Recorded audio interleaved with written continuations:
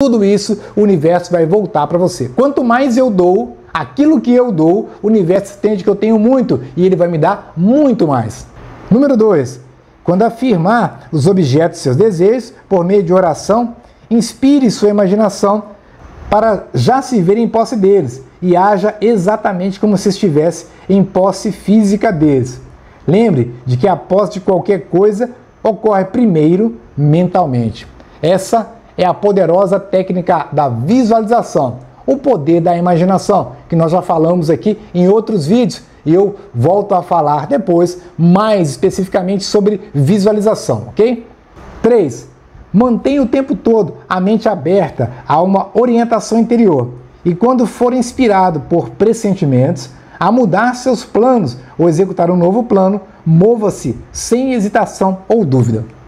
Muitas e muitas pessoas têm os pressentimentos. Eu não deveria ter feito isso, eu não deveria ir além da.